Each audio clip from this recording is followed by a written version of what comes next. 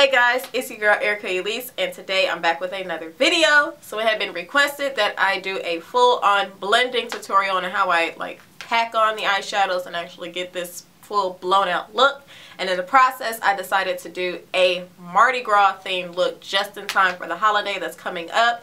And in the spirit of Mardi Gras and supporting everything New Orleans, I went in with my matte book by the crayon case from Super herself. And I love the way this look turned out. So if you all are interested in how I got this look, then just keep on watching.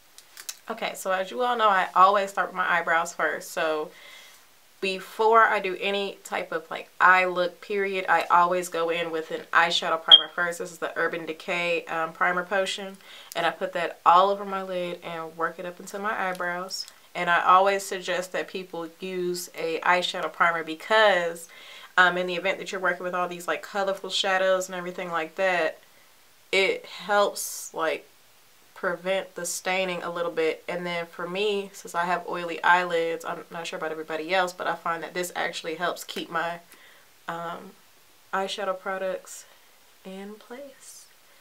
And it also helps stop the creasing. So I'll just take it with the paddle.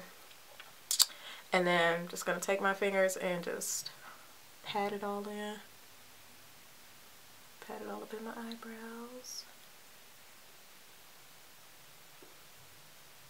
I'm trying out my DSLR camera because I hardly ever use it. I'm to figure it out though. I'm going to figure this camera out. I'm determined. Alright, and then uh, one of my typical favorites, the Anastasia um, Brow Wiz in the shade Dark Brown. And then we're just to start filling in those brows.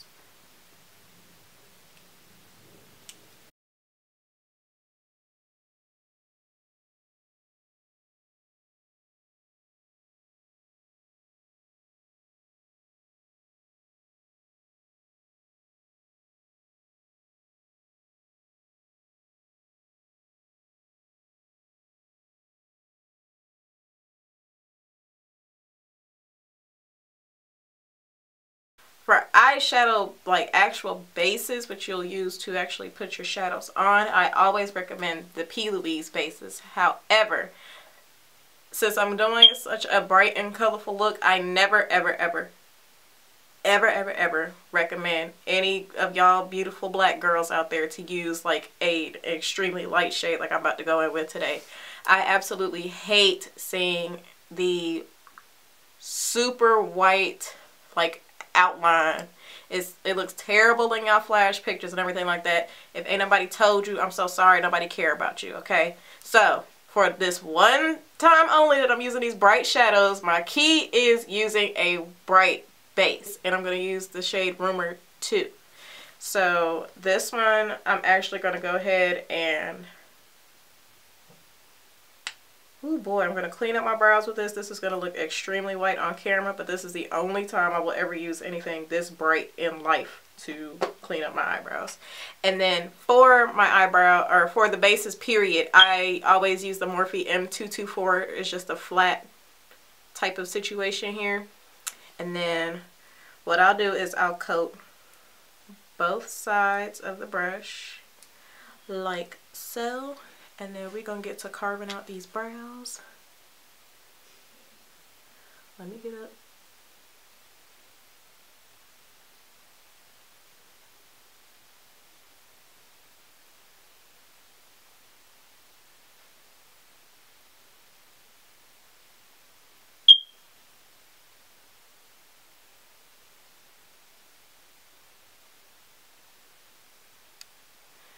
Now for this you could also use concealer but I um, if I'm going to use concealer I always use the LA Girl Cosmetics one. I feel like that one absolutely like adheres shadows the best.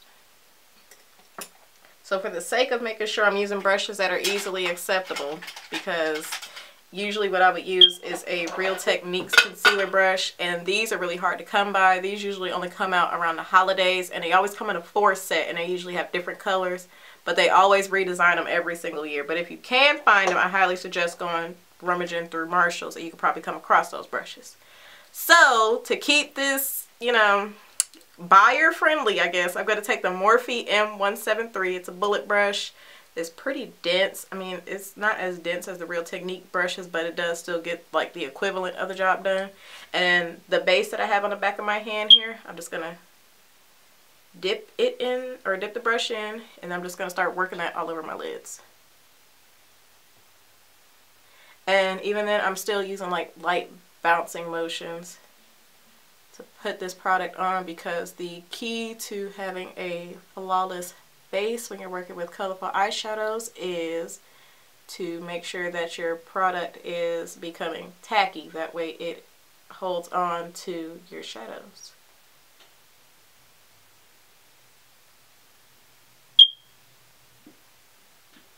And then you want to be really careful not to like drown your brush in this stuff because it gets like really, your brush gets really like full product and then it becomes really hard to blend your base out so it kind of comes out kind of patchy. And you want a smooth looking base. I always bring mine like way in on my nose. That way when I blend my foundation in I'm not confused as to where to not hit my eyeshadows.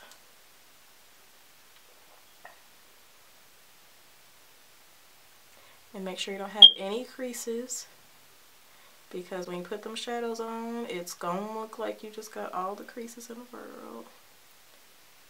Today I'm gonna take my the matte book by um, the crayon case and then the first shade I'm gonna go in with is this purple right here.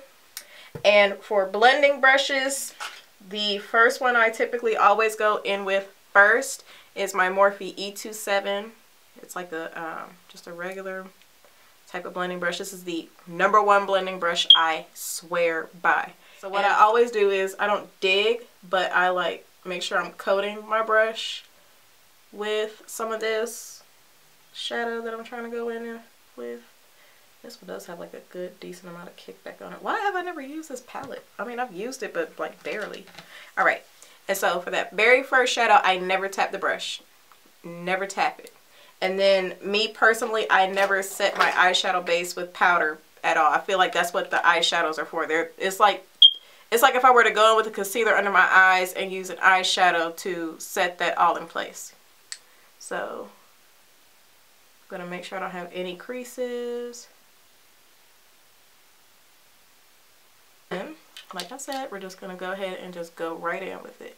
So for looking for your crease, what I do is I'll just look straight forward, poke myself in the eye just a little bit, and then boom, that's where your crease is.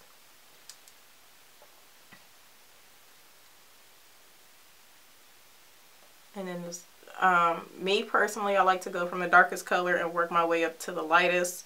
There are occasions where I'll do it in the other order, but this is just like the bombest way, in my opinion, to get that perfect blend. And I'm just going to tap this all into that crease area.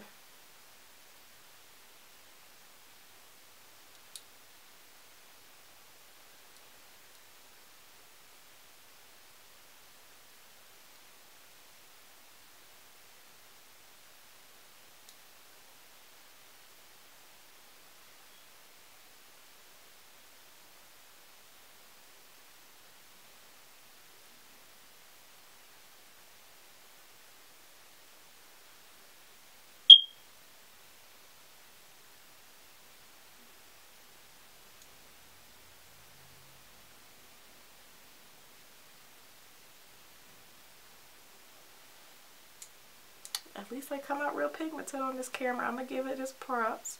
Alright, I'm going to go ahead and do the other eye. And then um, what I always swear by is the, uh, like these makeup brush sponge cleaners. And I just give it like a good swirl. Get all that. And see, it's like there's no purple staining. Like, nothing after you use one of these. I got mine from Walgreens. This was like six bucks. I highly recommend everybody out there get one. So to keep this little, I guess I'm going to do like a Mardi Gras type of thing. And Supernil from uh, Nolan's anyway. So I'm going to take uh, this green right here on this same Morphe E2, uh, E27. And that is the number one secret of my eyeshadow looks, I don't go in with 17 different brushes since I will use two to three maximum, period. Because I ain't got time to keep cleaning 17 different eyeshadow brushes every time I'm trying to do my makeup. That is ridiculous. So I'm going to do that same technique where I'm just like dumping or just coating my brush. I'm not going to tap it. And then what I'm going to do is where that purple ended, I'm going to start tapping the green on. I'm not ready to start the um, blending motions just yet. And this palette, I kind of forget how it like performs anyway. So we're just going to do this like by ear.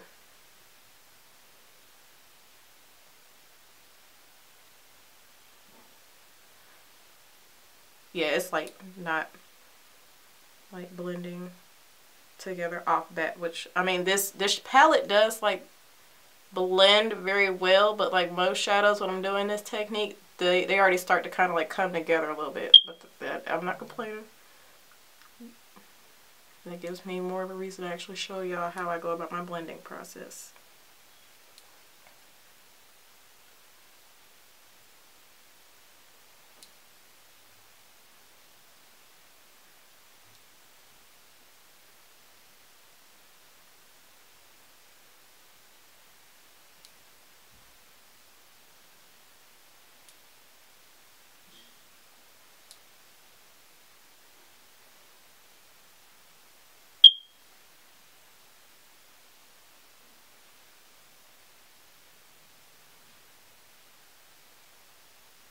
So you see now I have like this whole line. A Morphe M443 brush. It's kind of like a smaller type of dome brush. I'm going to take that, I'm going to coat it in this same green shade here. That's what I'm going to type, uh, tap it, excuse me, tap it just a little bit. And then this is where I start the small circular motions. So literally just trying to get these shadows to work together here.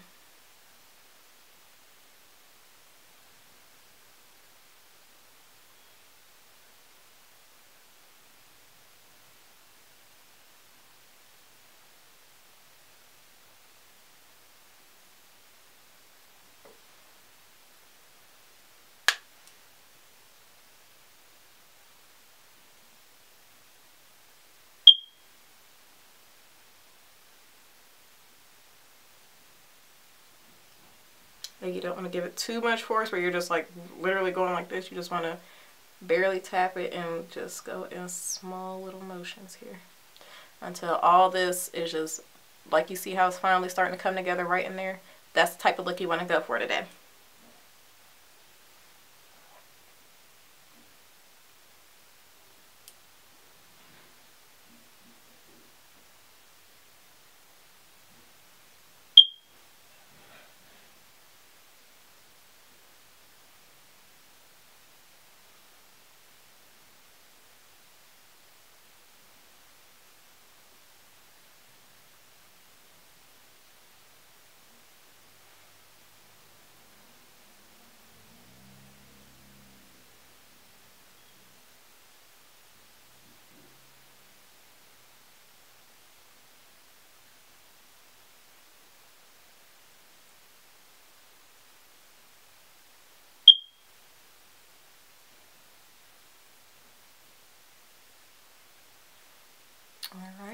So since I'm starting to lose just a little bit of that purple, I'm going to um, clean this E27 brush off.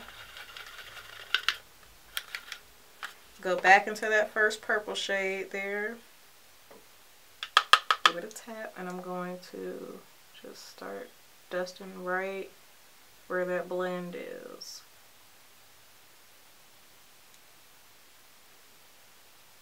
Sometimes you have to alternate between the two shadows in order for you to get that blend, sis, and it is all good.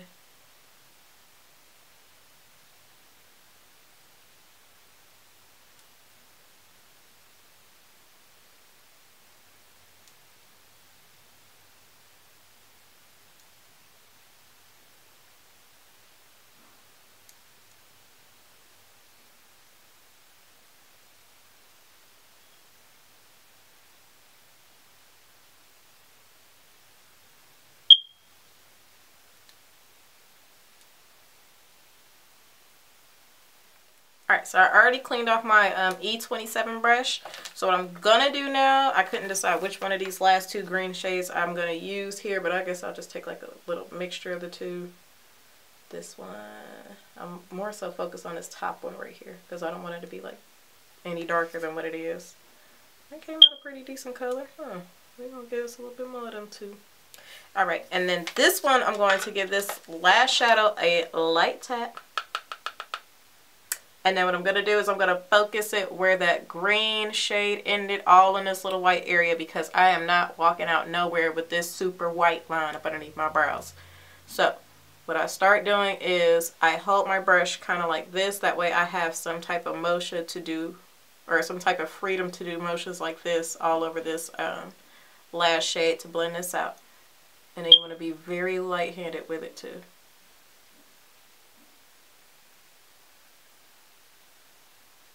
I'm trying to cover up this last little bit of this white A base that I possibly can.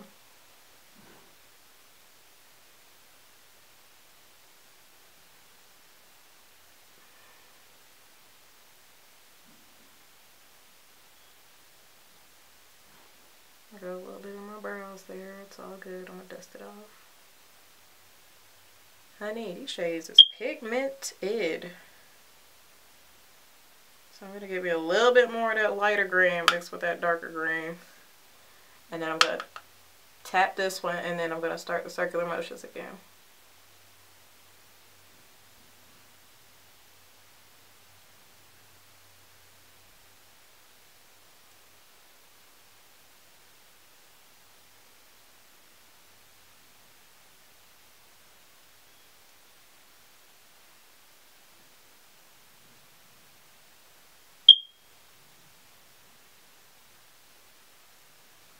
You see that little gradient blend there? Oh my goodness. I'm, I'm trying to put y'all on. I'm trying to put y'all on.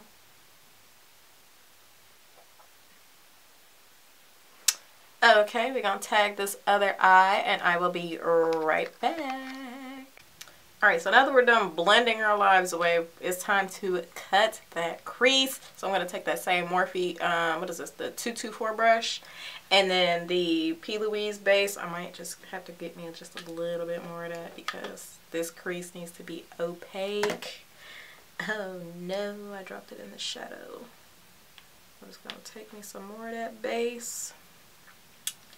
And then for this technique here because I really don't like having to use makeup remover to get a clean cut because I find that um, usually I I don't know about everybody else but I never get my eyelids dry enough after using makeup remover first and then putting the um, base back on and it, and then after a while it starts breaking up because of all the um, makeup remover product that's still left on my eyelid because I can never get all of it off. So what I'm going to do is um, the same technique I did to clean up underneath my brows. To coat both sides of that brush. And then what I do is I tap it right up in there. Let's do like a two-thirds type of thing. And I'm to tap a good amount right in the center of my lid. i look up and then look all over the place. And then, boom, I got a little stencil for me to start cutting this crease. And so, I'm to coat my brush again. And then I'm going to start stamping around. The key is to make sure that your brush is super flat. So that way you always get a clean cut. And that is my favorite technique to use, especially when I have people with like basically no eyelids. Sis, I'm going to create you an eyelid today because look, everybody deserves to be able to cut their crease with no issues.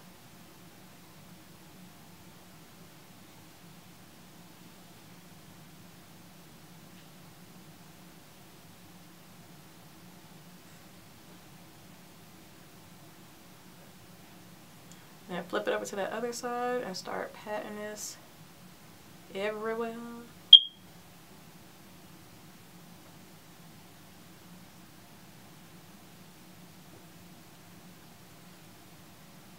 Coat both sides of that brush again.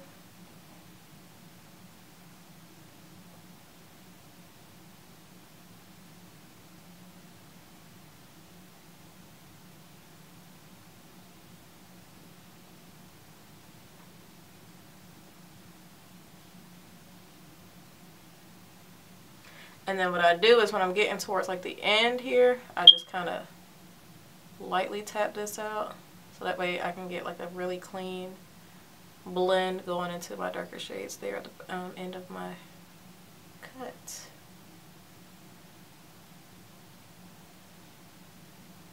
You want to make sure you have no creases.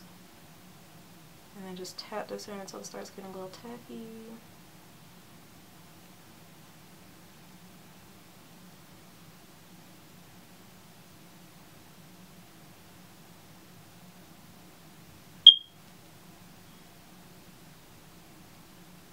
Oh, do y'all hear that? That means it's sticky. Okay, so now that we have these creases cut and ready to go, I'm going to go back into that matte book and then I'm going to take this this lighter purple right here.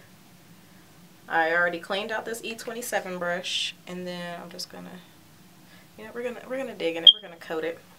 And then what I like to do after I've cut my crease so that way even all this looks blended together, right here where it's ended, um, you kind of see I've got like little just not smooth looking marks here. So what I'll do, instead of me taking that same dark purple shade, I'll take one that's just slightly lighter than that. I'm going to tap this one just a tiny bit. And then I'm going to start tapping this right on the ends of where the two shadows meet. I feel like it makes a better gradient effect versus me going like, especially since I'm not using like um, straight matte shadows on my eyelid. And then we're gonna take that like just at the very end of it. And I might work it in just a little bit.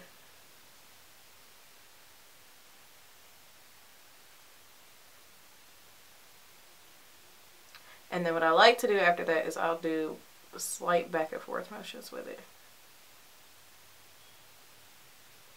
And so like I've lost just a little bit of that dark purple. I'm going to focus that dark purple right on the outside of it versus me trying to drag it all the way in. So we're going to dip back into that deep purple there and tap, tap, tap, tap, tap, tap. And then small circular motions again. I always raise my eyebrows. This is probably terrible for me in the long run, but if it helps get the job done, it's going to get raised today. And I'm just alternating back and forth between those two purples until I get a good blend.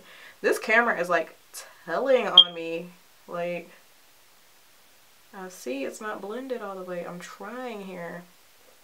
And to keep up with this Mardi Gras theme, I'm going to take a Morphe M167. It's another flat brush. And I'm going to take the shade Nubia up here in the corner. It's kind of like if um, Trophy Wife by Fenty Beauty made an eyeshadow. That's basically what this is. and then I'm going to take my um, 224 and tap out those creases I have there.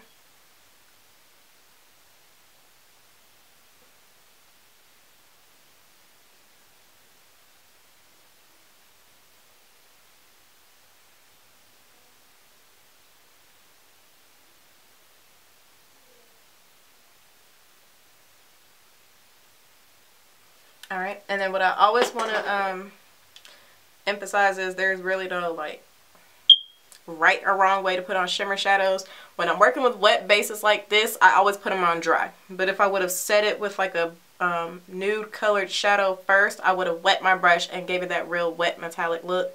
So since I didn't do that, we're just going to pat this on. Either that or if I didn't have my nails done, I would have used my fingers too. That's always a great option when working with um, shimmery shadows.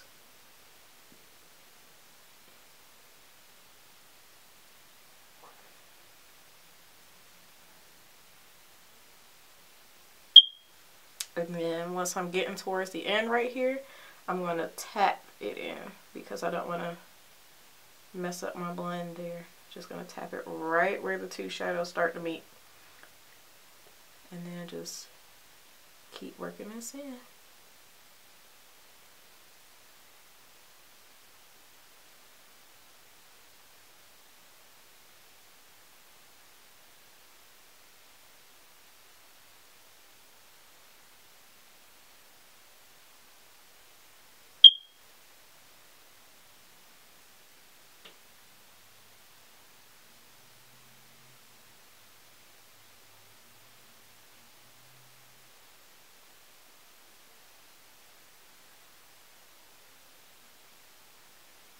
So I was having a really hard time like trying to figure out what golds I wanted to use for this. So we just gonna wing it, I guess. So I have a J'Larue um, Cosmetics uh, pigment here, and this one, the letters and like the little name tag came off, but this one is in the shade Lemonade, and it's basically like this, basically like the same as this Nubia shade I just went in with, but this one's just got like that ooh, like all that sparkling and bedazzling stuff going on with it. So what I'm going to do is I'm going to just dip that brush. I don't want to like tip the pigment over because this stuff is so messy. It's going to fall literally everywhere. And then once I get a good like amount on my brush, we're going to be very careful with her because she's messy. I'm going to tap this in right on top of all that gold I just placed.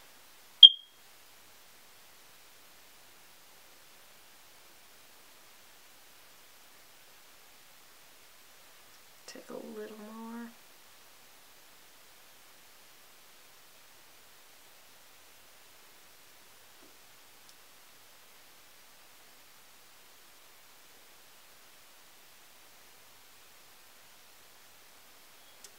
Alright, this camera is not doing us any justice, but it's like, yo, she's sparkling. I see her. Alright, so I figured I'd go ahead and do my foundation off camera because it's like always pretty much the same thing. And so, um, yeah, I did go in with eyeliner. Um, for eyeliner today, I almost forgot to tell y'all. I went in with the Anastasia Beverly Hills liquid eyeliner. Um, I don't know if this is matte or waterproof, but it is pretty decent with the felt tip liner on it. So for concealer today, I'm going to go in with the Makeup Revolution. But today I'm going to go in with the shade 12.5 because 12 has just been super white on me. And then for contour, I'm going to take the Juvia's Place concealer in the shade 5. So we're going to do the usual. And right where my um, eyeliner ends, that's where I'm going to take this concealer.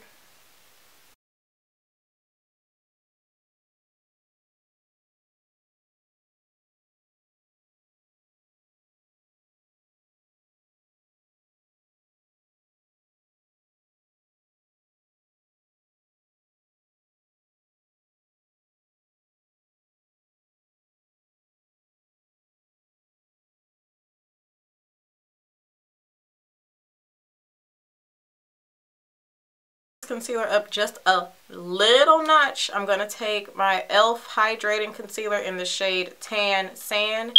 And I'm going to be very light-handed with this because I don't want a super like bright under eye.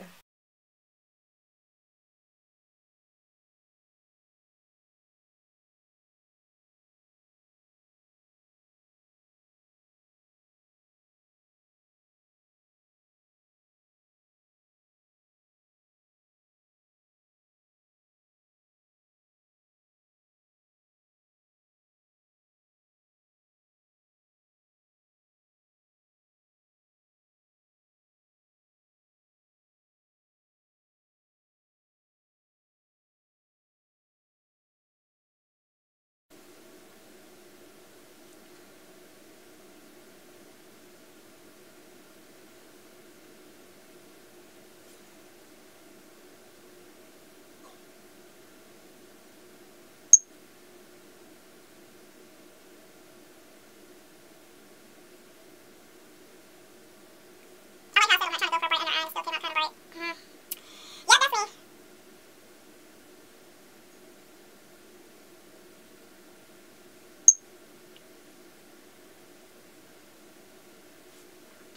the bottom end is by blowing out the contour.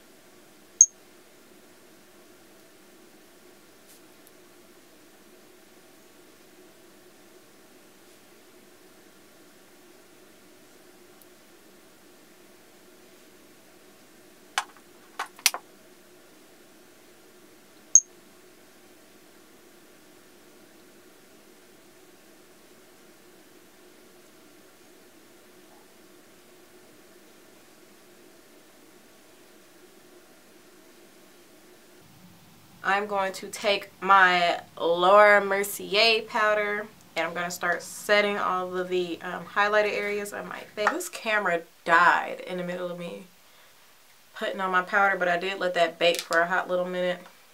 And then what I'm going to do now is I'm going to take my Anastasia um, contour palette and I'm going to take that deep shade up in there and I'm going to start snatching this face just a little more.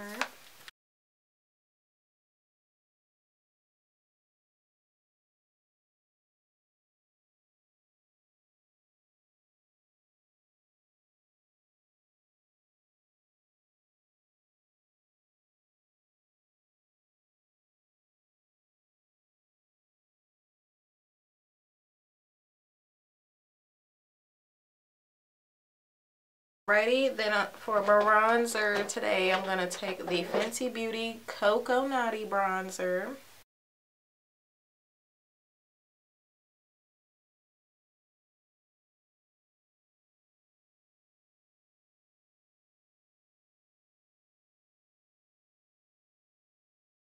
So for underneath my eyes, I like to take my Morphe M169. It's a really small like blending brush. And I'm going to dip that into the um, deep purple back in this matte book palette. And then what I do is I just do this like little slight back and forth motion. And then the darker shades, I always focus them right on my lashes.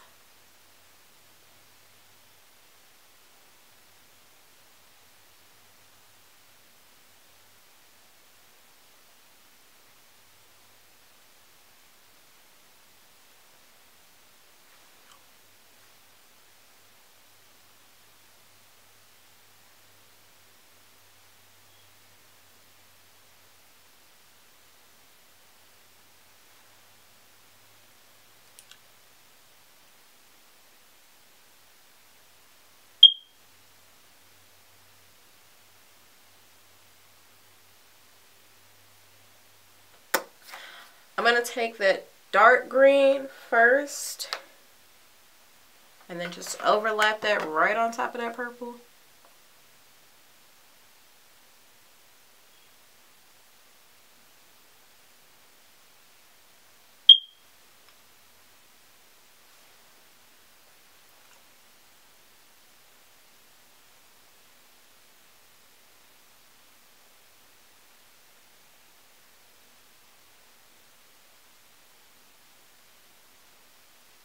Alright, and then after that I'm going to take the combination of the other two green shadows right there. And then put that right on top of that last little green shade. This one I'm going to tap that one because I did just pick up a lot of that.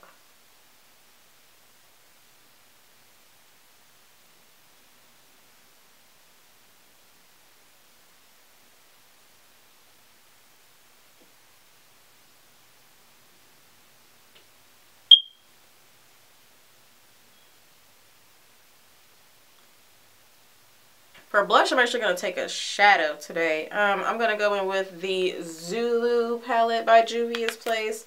And I'm going to, I'm going to dip in that orange up there. Make sure I really tap this out because this one is pigmented. And we're going to tap that.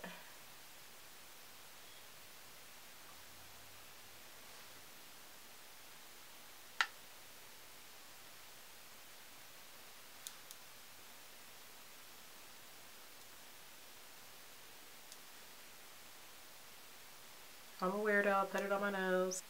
So for highlight today, I'm going to take my Fenty Beauty highlight in the shade Trophy Wife. She is gold as I'll get out.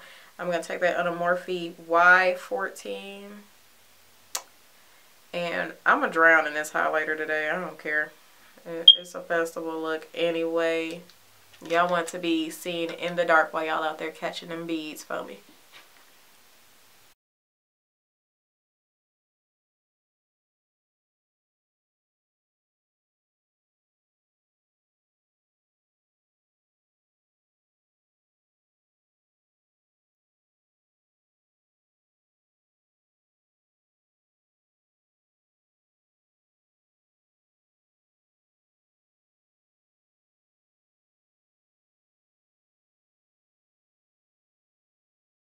For setting spray, I'm going to take my Beauty Creations Peach Setting Spray.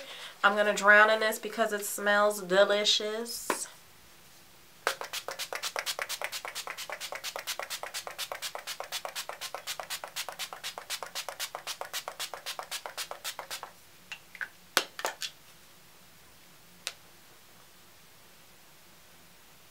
Remember,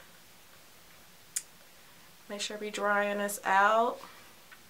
Alright, I'm going to do my lashes and mascara off camera and then I will be right back.